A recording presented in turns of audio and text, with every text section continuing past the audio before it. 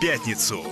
Адвокат Максим Голубев. Молод, успешен и циничен. Есть дело. Банкир Романов сбил какую-то старушку на пешеходном переходе. Самое неприятное на зеленый свет. Ты какими судьбами здесь? Мама здесь. Ее сегодня утром машина сбила. Дочку нужно из садика забрать. У тебя есть дочь? Да? Что здесь такого удивительного? Но не ко всякому делу можно быть готовым наверняка. А вы Максим? А ты откуда знаешь?